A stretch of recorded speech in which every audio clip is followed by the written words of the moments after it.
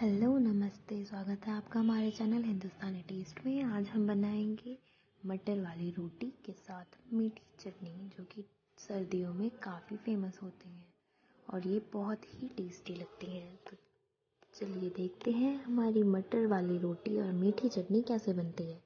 सबसे पहले हमें चाहिए दस से बारह लहसुन, दस, आठ से नौ हरा मिर्च। अब हम कढ़ाई में तेल डाल के, यहाँ पे मैंने सरसों का तेल लिया है, आप कोई भी ले सकते हैं। मैंने सरसों के तेल में अपने लहसुन और मिर्ची का तड़का दिया है। ध्यान रहे, लहसुन हल्का सा पहले आप उसको भून लें, उसके बाद से उसमें मिर्ची डालेंगे तो वो काफ़ी टेस्टी बनती है।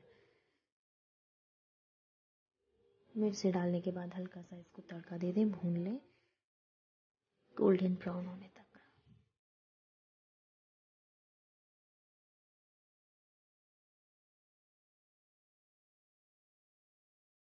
अब हम इसमें यहाँ पे एक किलो मटर का यूज़ कर रहे हैं। हमने यहाँ पे एक किलो मटर पहले से छील के रखा है। मटर डालने के बाद आप इसको चला लें। हल्का सा चलाएँ, उसके बाद आप स्वाद अनुसार नमक डाल सकते हैं।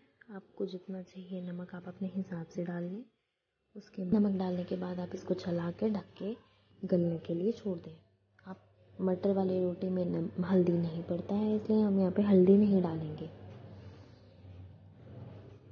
इसको हमें गलाना एकदम अच्छे से। अब आप इसको ढक के थोड़ी देर के लिए रख लें। बीच बीच में चलाते रहेंगे। जिससे हमारे मटर जले ना। मटर यहाँ पे पानी छोड़ रहा है। तो ये पानी जब सूख जाएगा, तब हम इसको हल्का हल्का मैश भी करते रहेंगे साथ साथ में। जब मटर गल जाएगा तो एकदम अच्छे से मैश हो जाएगा। आप इसको बाद में ठंडा करके मिक्सी में भी डाल सकते हैं।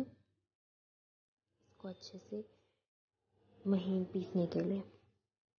हमारा चैनल अगर आपको अच्छा लगता है, हमारी रेसिपीज़ आपको अच्छी लगती हैं तो लाइक करना शेयर करना सब्सक्राइब करना ना भूलें। अब हम मीठी चटनी के लिए यहाँ पे ले रहे हैं आधा किलो टमाटर। अब हम आधा किलो टमाटर को आप मोटा मोटा भी काट सकते अब हम लेंगे नौ से दस कलियाँ लहसुन की, दो सूखा लाल मिर्च कढ़ाई गरम करके। अब हम हम उसमें डालेंगे एक चम्मच सरसों का तेल। आप कोई भी तेल डाल सकते हैं यहाँ पे। जब हमारी तेल गर्म हो जाएगी तो हम इसमें पचफोरन डालेंगे। पचफोरन में सारे मसाले होते हैं, जो कि हमारी मीठी चटनी को बहुत ही ज़्यादा टेस्टी बनाते हैं। ये बहुत डालना ज़रूरी है। डालना बहुत ज़रूरी है सॉरी अब हम डालेंगे लहसुन बारीक काट के और मिर्ची का तड़का दे देंगे। ये हल्का गोल्डन ब्राउन हो जाएगा, तब हम इसमें अपने कटे हुए टमाटर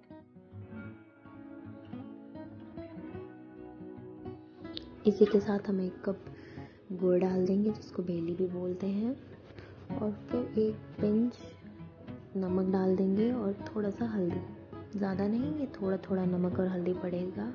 इससे काफ़ी स्वादिष्ट बनती है हमारी मीठी चटनी। फिर अब आप इसको ढक के रख दीजिए। बीच बीच में चलाते रहिएगा। और हल्का सा इसको दबाते भी रखिएगा जिससे ये टमाटर जल्दी से गल जाए। हमारे चैनल को सब्सक्राइब करना, लाइक करना और शेयर करना ना भूलें, प्लीज़ प्लीज़ प्लीज़। अभी बहुत पानी है तो बस आप चलाते रहिए। थोड़ी देर ढक के रख दीजिए, अभी हमारा टमाटर गला नहीं है तो हम इसको वापस से ढकने, ढक के रख देंगे। हम देखिए, पानी सूख चुकी है और हमारा टमाटर भी अच्छे से गल गया है और ये दिखने में भी काफ़ी अच्छा हो रहा है। इसका टेक्सचर बहुत अच्छा है।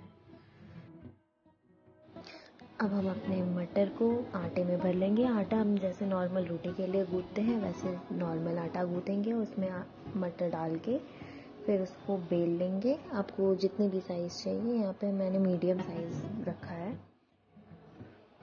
उसके बाद से सेक के आप अलट पलट करके तेल लगा लें, अच्छे से सेक लें, जब हमारी रोटी गोल्डन ब्राउन हो जाएगी। तब आप इसको आँच से उतार दें।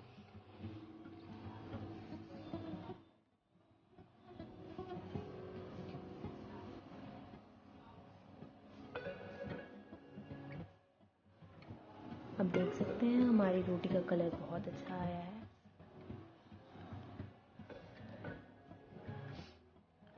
हमारी रोटी हो गई है, ये रेडी